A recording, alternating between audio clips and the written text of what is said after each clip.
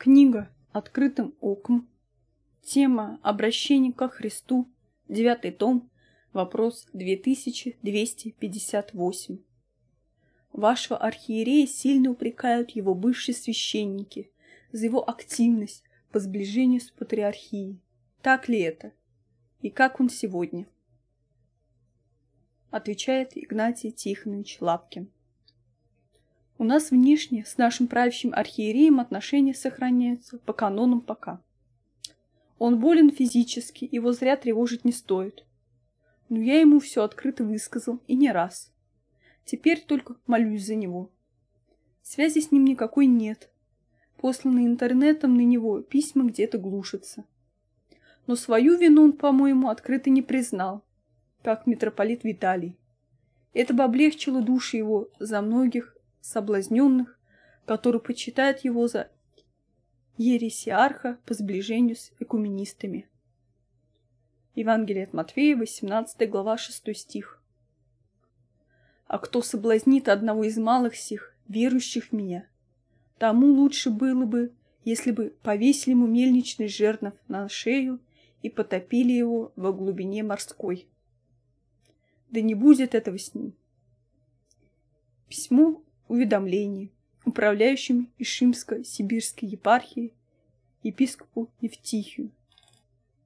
Усугубляет положение нежелание нынешнего синода архиепископа, лавра которому вы единомысленны, прервать евхаристическое общение с экуменической сербской церковью, имеющей литургическое общение с московской патриархией.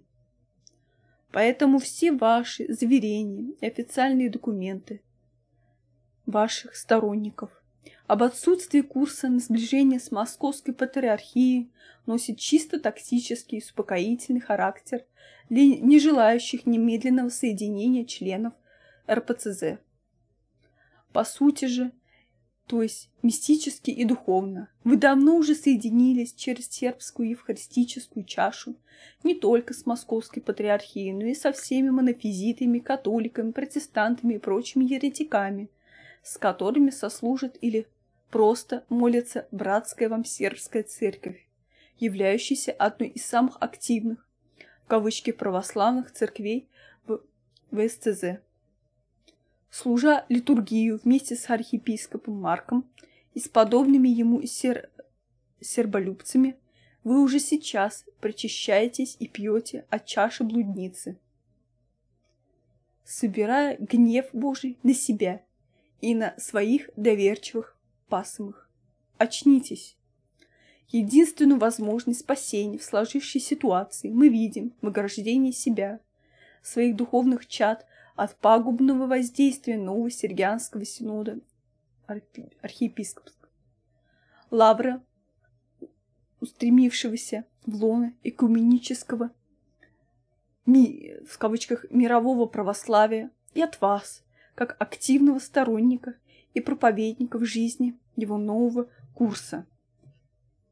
Мы отделяемся от общения с вами, основываясь на пятнадцатом правиле – двукратного собора и изъявлений архиерейского синода Русской Православной Церкви в изгнании от 26 октября 2001 года и переходим под прямое управление митрополита Виталия и синода РПЦИ.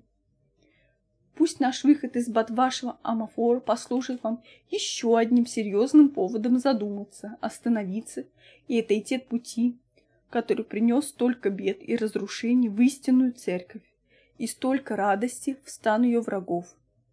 Ирей Василий Савельев, священник и иеромонах Тихон, пасечник. 2 Коринфянам 6 глава 17-18 стихи.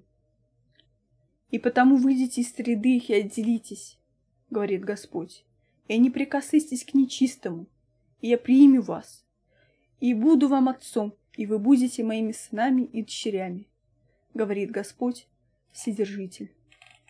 Стихотворение. Чем же вызвано стремление отделиться от Создателя на небе и, и в раю? Почему одиноких лица устремлены в собственный уют? Говорю, говорю о ересях, о сект и сектах, дьявольском расколе разделения, отсеченных и засохших ветках. Не из них составлен братский веник. Ягодки на кисти виноградной, овцы у святого пастуха. Прочная библейская ограда, цельное вино не рвет меха. К людям посылает Иегова истинно евангельскую весть. Всем спасение под церковным кровом. Только там единство с Богом есть. Где смирение перед Словом Божиим, быть единым с Богом во Христе. Разделение там не выйдет боком, от его мы плоти и костей. Жесткая конструкция единства. Треугольник, трое, но едино. Бог един при равенстве в трех лицах. Прочее подобно паутине. К Богу, к центру во всеобщем круге. Возрожденный в духе устремился. Там почтительность, любезности друг другу. Упование на Божью милость. Аромат живительный библейский, что в единстве силы и спасения. Довод к единению самый веский. Разделение с дьяволом мучения. Покорись канонам, меньше стонов. Задуши свой эгоизм, эгоизм сектантский. Будь овцой, не бешеный в загоне.